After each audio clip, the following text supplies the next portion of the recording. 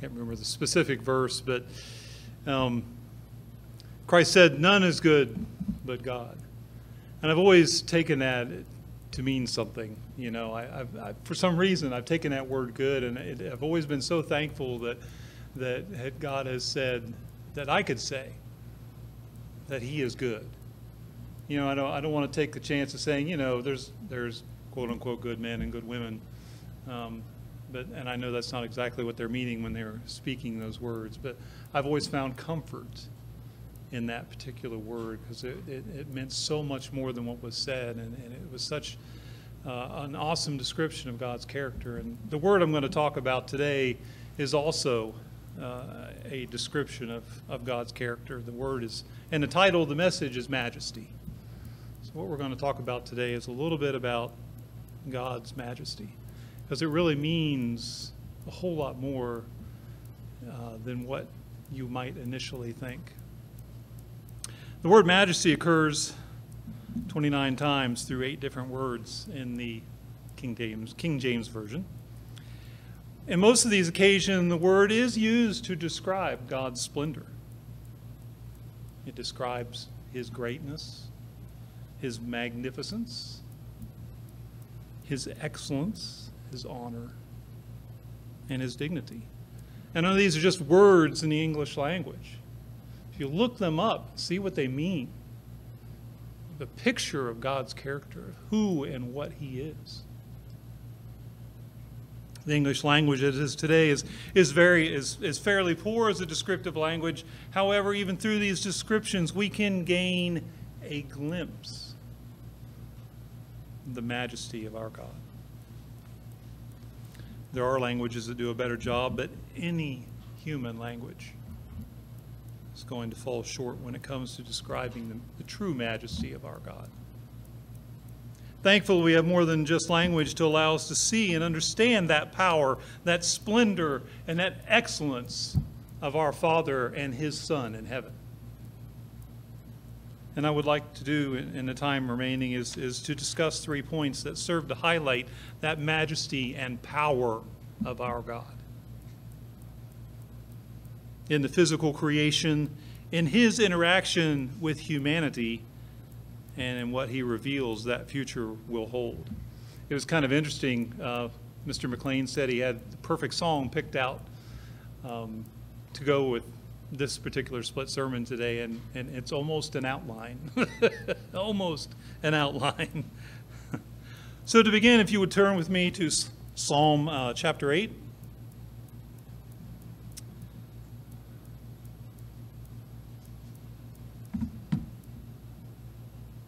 Psalm chapter 8, and we'll begin in verse 1. For the director of music, according to Gittith, a psalm of David Lord, our Lord, how majestic is your name in all the earth.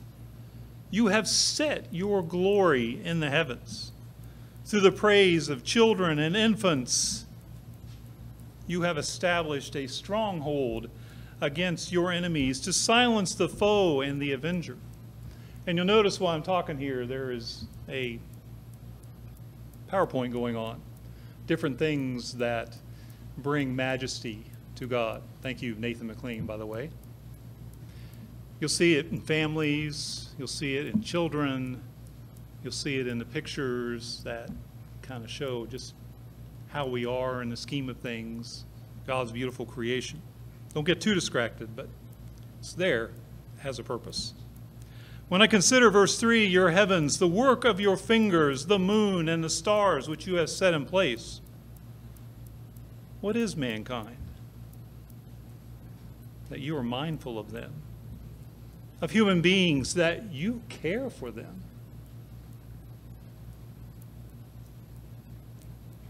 You, know, you have made them a little lower than the angels and crowned them with glory and honor and you have made them rulers over the works of your hands. You've put everything under their feet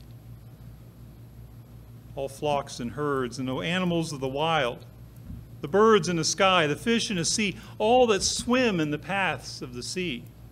Lord, our Lord, how majestic is your name in all the earth.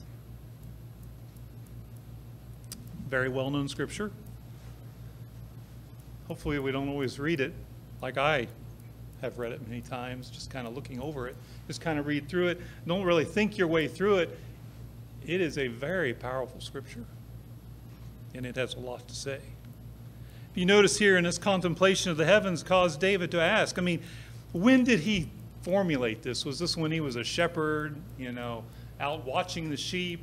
You know, if you've ever been in the desert at night and looked up at the sky, it is awesome.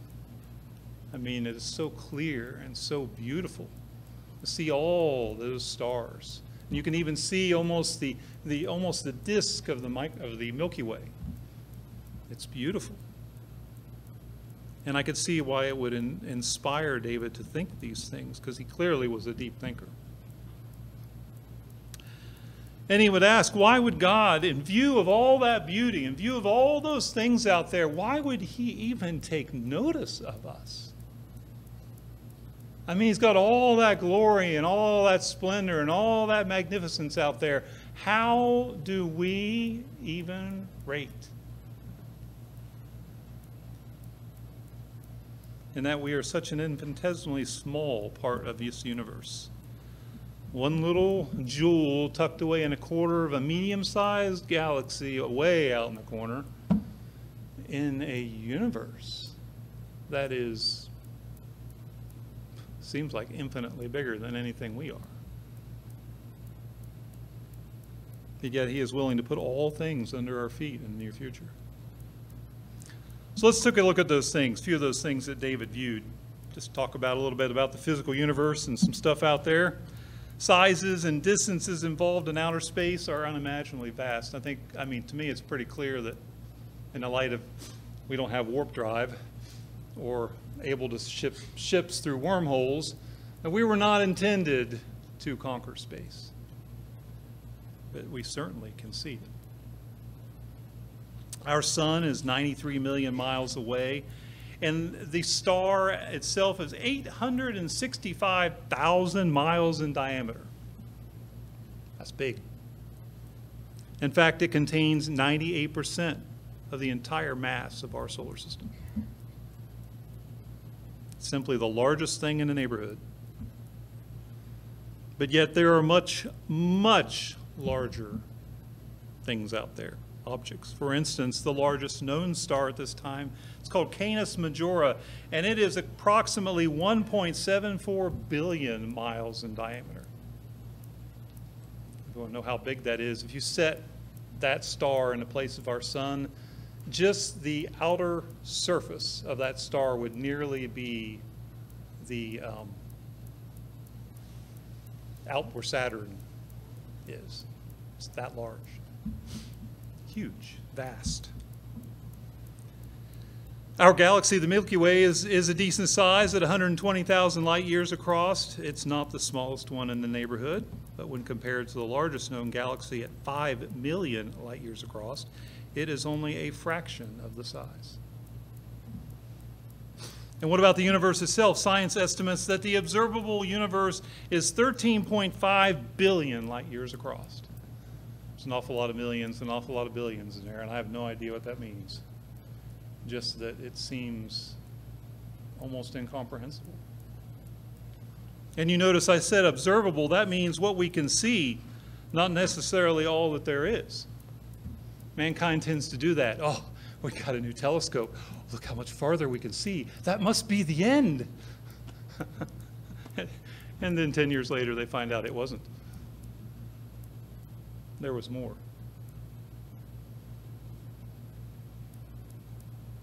But understand these things are all a part of the physical creation, and despite the vast sizes and distance, especially on a human scale, they are subject to the will and whim of our God and the way in which they and, and the way in which they are evidence of the majesty of God is in the scale and detail in which they exist. I mean, the vast size of these stars, the vast distances of these galaxies, the fantastic power of a black hole, the exquisite beauty of a nebula are on a scale that you can barely comprehend. I mean, we see them in pictures, as you may have seen already flash by, but it, and it, it looks pretty, And you look at all those little points of light and realize they're galaxies. Billions. Was it 200 billion, they estimate?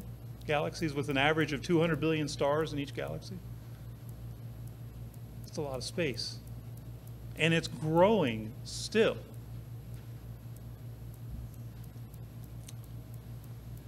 It's on a scale we can barely comprehend, but we can just comprehend it. And in seeing their majesty and that power on such a grand physical scale, can help us to relate, like David, to the majesty and power of our God.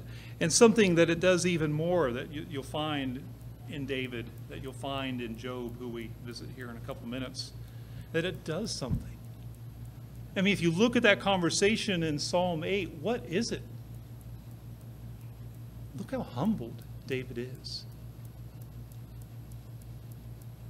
And that's something that God's majesty does. It's extremely humbling to see those things. I mean, if you look at the pictures and you look at the creation, you look at the, the beautiful trees, the water flowing, the rocks, and know that God created all of that. All the processes that led to the formation of those rocks the combination of things that make water, that he spoke the word and a planet came into being. I mean, that goes back to the power that he has and his majesty. And it's very humbling.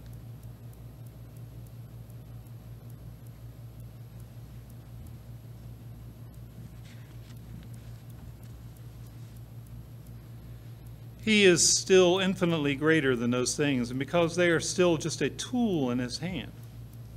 But they are also a testament to his creativity, to his design, to the power and majesty of that great God. I mean, you can just keep coming back to that. Um, turn, if you would, to Isaiah 40, verse 26. Let's look at some other scriptures here. Talk about these things. By the way, I'm reading from the New International Version, if you had noticed a difference there. Verses 22 through 26, Isaiah 40, 22 through 26. He sits enthroned above the circle of the earth, and its, its people are like grasshoppers. He stretches out the heavens like a canopy and spreads them out like a tent to live in. He, he brings princes to naught and reduces the rulers of this world to nothing. No sooner are they planted, no sooner are they sown, no sooner do they take root in the ground than he blows on them, and they wither, and a whirlwind sweeps them away like chaff. To whom will you compare me? Or who is my equal? says the Holy One. Lift up your eyes and look to the heavens. Who created all these things? He who brings out the starry host one by one and calls forth each of them by name. 200 billion galaxies, 200 billion stars in each, and he knows them all by name. I have trouble keeping two straight. Because of his great power and mighty strength, not one of them is missing about Psalm 19. Let's go back to Psalm. Psalm 19, verses 1 through 6.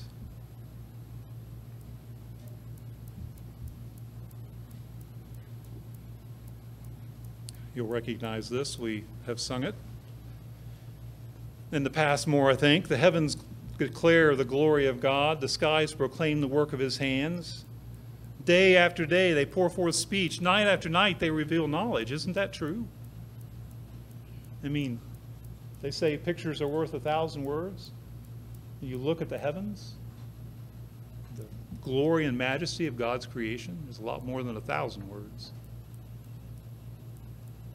They have no speech. They use no words. No sound is heard from them, yet their voice goes out into all the earth. Their words to the end of the world. In the heavens, God has pitched a tent for the sun. It is like a bridegroom coming out of his chamber, like a champion rejoicing to run his course. It rises at one end of the heavens and makes its circuit to the other. Nothing is deprived of its warmth. How about one more? Let's go to Psalm 147.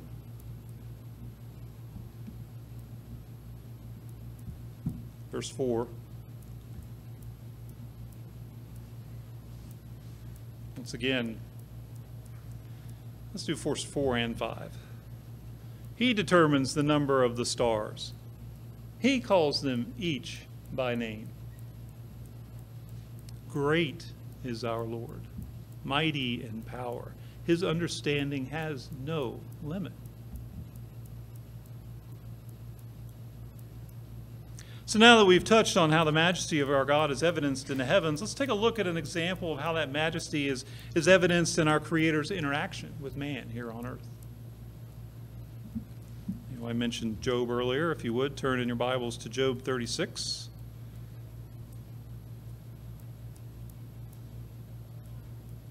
Verse 22.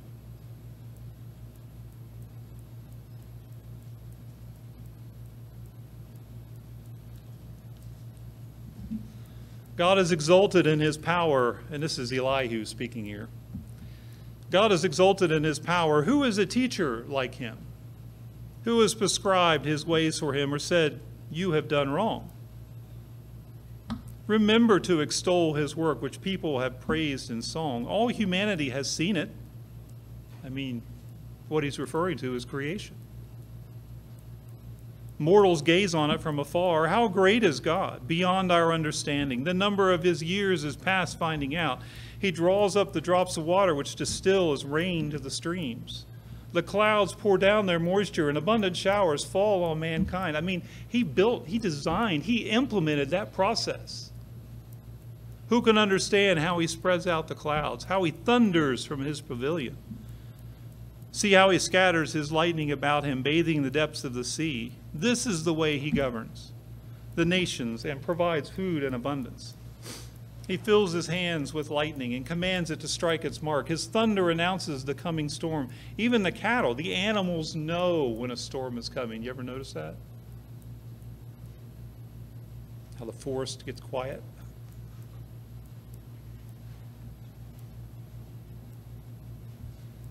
chapter 37. We'll continue. At this, my heart pounds and leaps from its place. Listen, listen to the roar of his voice, to the rumbling that comes from his mouth. I mean, when God speaks, it's described in the Bible as thunder. He unleashes his lightnings beneath the whole heaven and sends it to the ends of the earth. After that comes the sound of his roar. He thunders with his majestic voice. When his voice resounds, he holds nothing back. God's voice thunders in marvelous ways. He does great things beyond our understanding. Let's take a moment to think about what Elihu is saying here. He mentions twice that God is great, that is beyond our understanding, and in many ways, many ways, even with the addition of God's Spirit, he is. I mean, even with God's Spirit, it's still like looking in a glass darkly. God says that his thoughts are not our thoughts. But yet look and, and how in describing what God does, God gives us, Elihu gives us, I'm sorry, more understanding into that majesty of God. Look at how he cares for his creation. He provides for it. You know, those rain showers, those storms. He says he provides abundant food. He mentions animals that he has provided for us to eat. All these things God has given us. Even though we've turned our back on him collectively. He loves what he has made.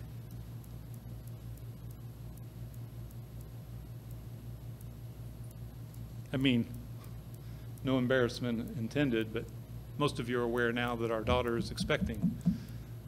And I look forward to that. And I know they're looking forward to that. But can you imagine God? How much He looks forward to billions, maybe even trillions of children? Every one of them unique?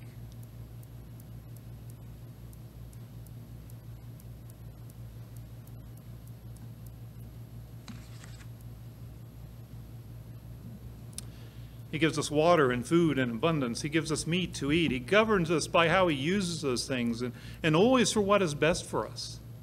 I mean, think about when he spoke directly to Job out of the whirlwind. Kind of called him on the carpet and dressed him down a little. Now, you know, as you know the story, Job was doing it pretty well, pretty right prior to this episode. Else God would not have said what he said about him to Satan in that conversation. But there was a flaw. And God used Satan and Job's three friends to expose this flaw. And then, then he deals with it in a pretty big, dramatic way. He, he made a point. I mean, if you just imagine the power and sound of a thunderstorm and combine that with, with that all encompassing roar of a tornado, that freight train sound. Throw in a little sideways rain and hail and some flying debris and the constant flashing of lightning, the accompanying crash of the thunder. Then, on top of that, this rolling thunder of the very voice of God above and beyond all the rest of what was going on. And what was the end result of that? Wasn't that a humbling experience as well? Once again, God revealed himself through that power. He revealed a little tiny thread of his majesty. And what did it end up resulting in? Humility. God's majesty is truly connected directly to humility. Because that's what it provokes in us when we see that. That every day.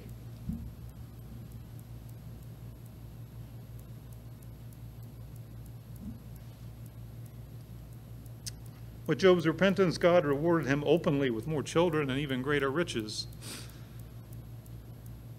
So you see that our God is a God who deals with man with excellence and honor. And that goes directly, I'm sorry, back to his majesty. And just as we saw with David, the humility that was inspired through his contemplation in the heavens and the creation in outer space, so Job too is humbled by the majesty before him through the physical items like that storm and that wind.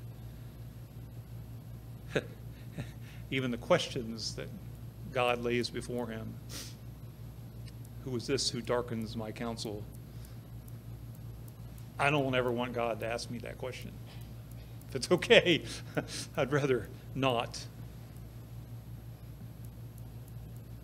Things that Job did not understand. You know, the Lord lays before him questions of things that, that have to do with the creation of its world and its operations. And what kind of answer did Job have for that?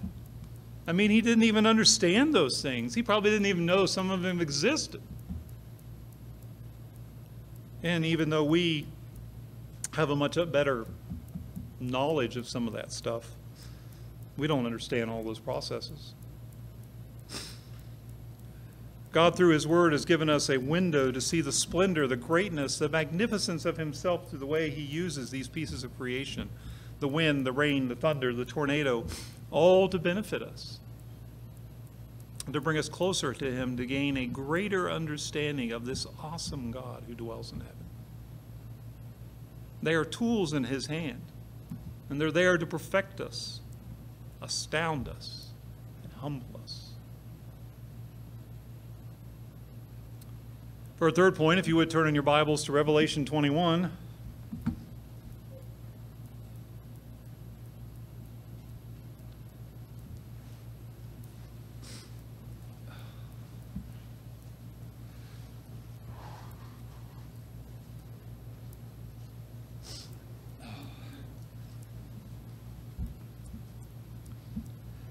We'll examine the majesty of our God through what he shows that future to hold. Revelation 21.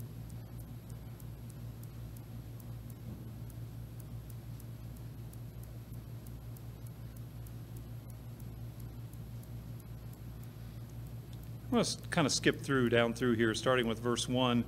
And I saw a new heaven and a new earth, for the first heaven and first earth had passed away, and there was no longer any sea. And I saw the holy city, the New Jerusalem, coming down from heaven from God, prepared as a bride, beautifully dressed for her husband. And I heard a loud voice from the throne saying, Look, God's dwelling place is now among the people, and he will dwell with them. They will be his people, and God himself will be with them and be their God. That's pretty awesome. God is bringing universe headquarters to a remade, completely remade earth. In the process that leads up to that, he's going to wipe away every tear from their eyes. There's not going to be any more death. There's not going to be mourning or crying or pain. All that. All the evil that caused that. It's all gone. There's not going to be anything left but good stuff.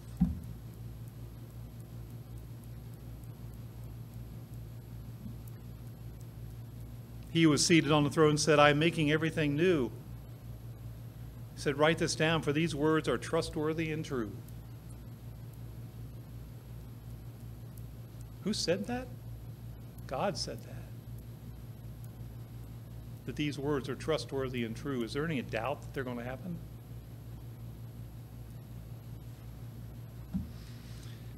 He says, He said to me, It is done. I am the Alpha and the Omega, the beginning and the end. To the thirsty I will give water without cost from the spring of water of life. Those who are victorious will inherit all this, and I will be their God, and they will be my children. Skip down to verse 22.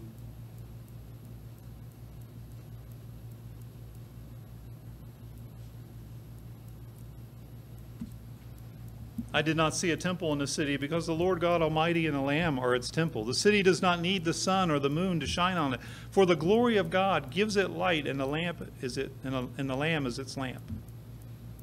The nations will walk by its light, and the kings of the earth will bring their splendor into it. On no day will its gates ever be shut, for there will be no night there. The glory and honor of the nations will be brought into it. I mean, if you read in other areas here, it talks about each gate being made of pearl. It talks about all kinds of precious stones being embedded in the walls, and it talks about um, gold so pure that it's like glass. I mean, that's pretty awesome.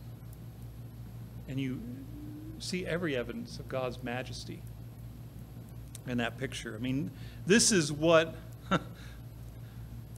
this is what eternity will be like that city's going to be there forever. I mean, this is a pic picture of a future without end.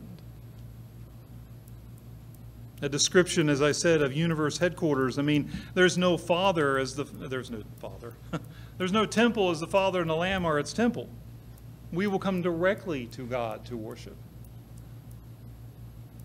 It's not going to be any need for light because God's glory will light everything.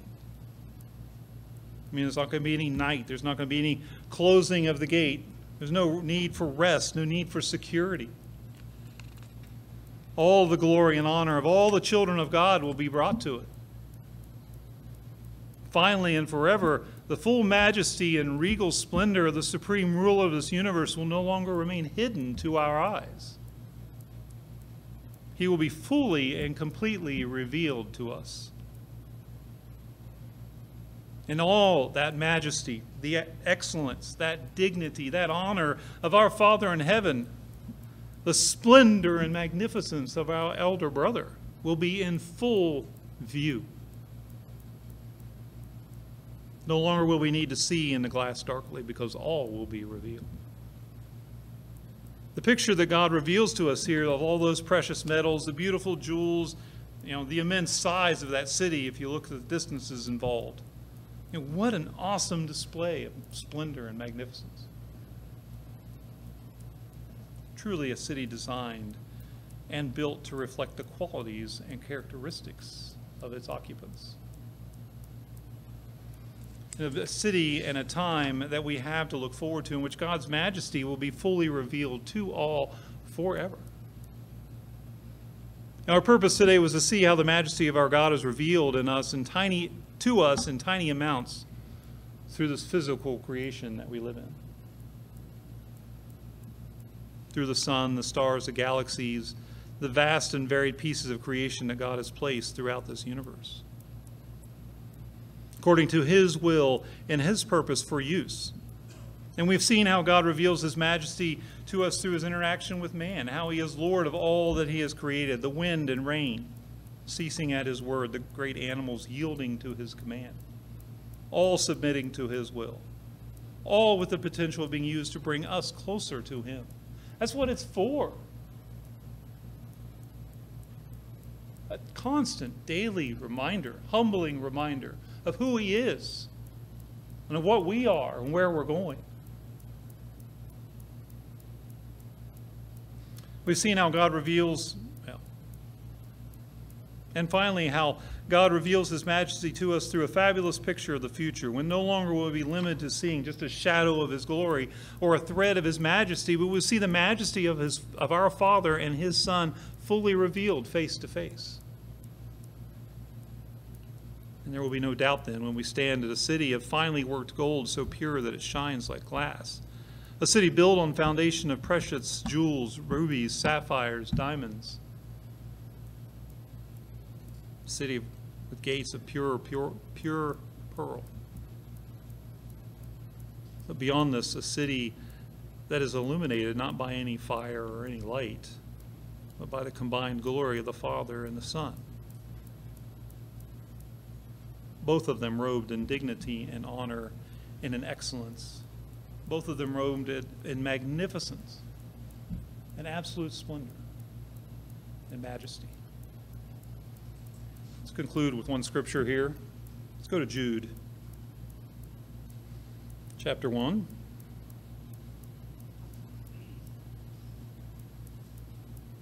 Verse 24.